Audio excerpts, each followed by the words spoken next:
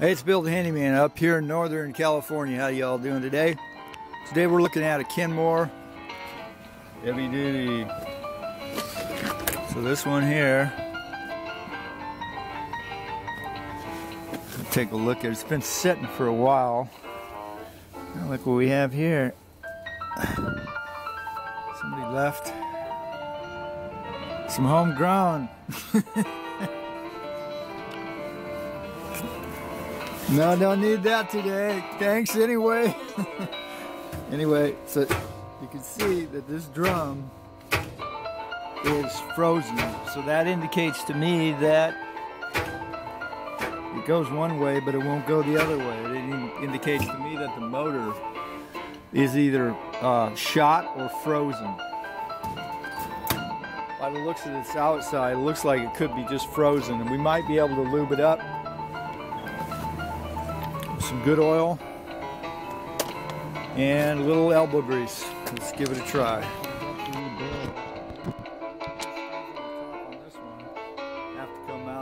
Take that top panel off. There's these little tabs right here on the front panel. You have to stick a flathead screwdriver in, or you can pull back on the on this. Just pull it this way, slide it this way, grab here, pull it forward. You may be able to pull it off the front tabs. Once you get the front tabs uh, off, there are two screws on the front panel here. There's one. I always kind of set them right here so I know where they're at. Goes in here. And then this one, other one goes here. And then once you do that, then the front panel you can lift up. And there's these little catches right down here that you just lift up and pull it off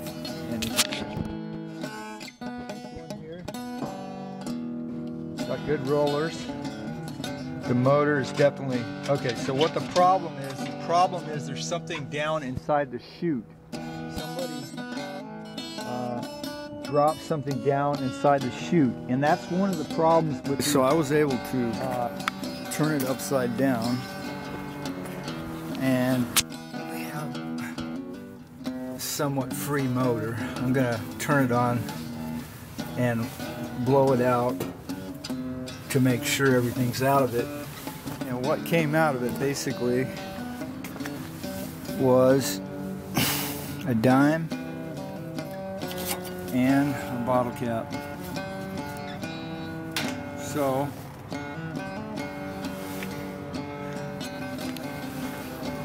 lesson is don't put anything on your dryer that's to come down the chute.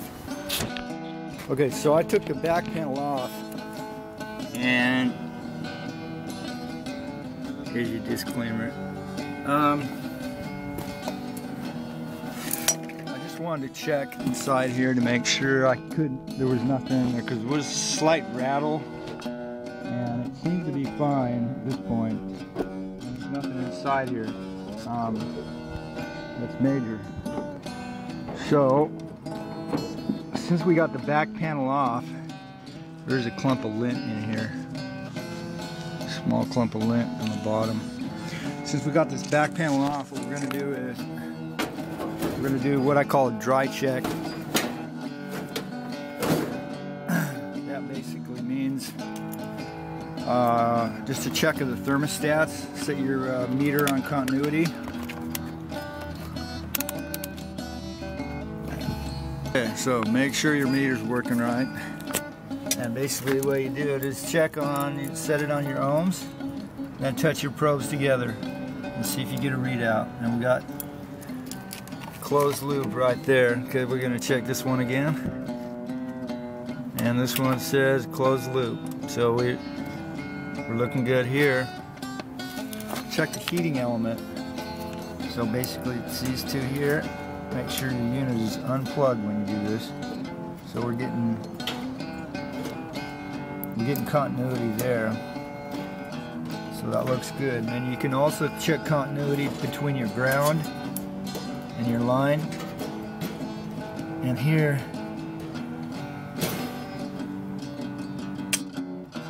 we have looks like we might have a shorted heating element. So this heat element may be shorted. i'm gonna do is try and isolate it. Try it again. Make sure it's on there. And so that is not showing any continuity. That is a good sign. So let's check this one here. One there is not showing any continuity, so that's good. So we got a good heating element, it appears. And so we'll check this one here. And that one's good. And once again, this one here. This one is good too. So this one looks like a good dryer. Uh, yeah, it's just, a salvage uh, machine. And the only thing that was wrong with it basically was we got some coins and this thing down, fell down the chute. check for is lint built up back in here. Uh, sometimes you can just take a screwdriver and poke it through there and clean some of the stuff out. This one's pretty good. Got a little built up, but not much. Just poke it through there. And a little note about the belt. So basically, here's your belt. And so this will go around the barrel right here, supposedly. And it'll go underneath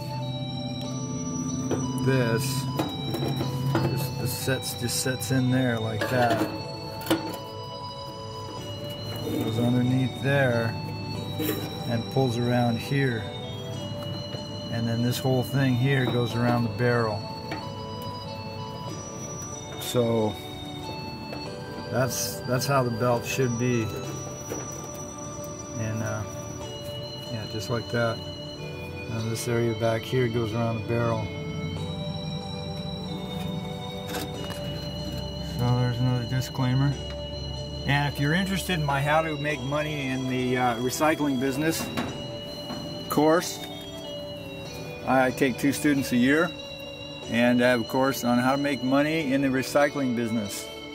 And if you're interested in that, you can contact me again, Eureka Recycler at yahoo.com. or give me a call 707 445 1591. Thank you. So if this video helped you, please send me a donation. It's Bill's Enterprises, P.O. Box 7021, Eureka, California 95502. And if you need any help, you can contact me at 707 445 1591. Eureka Recycler at yahoo.com. Eureka Recycler at yahoo.com. Thanks for watching.